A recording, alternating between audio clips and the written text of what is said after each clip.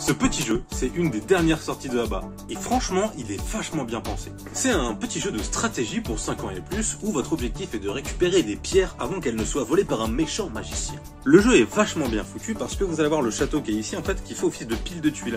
Et derrière, vous avez un truc pour pousser les tuiles qui du coup va en rajouter au fur et à mesure.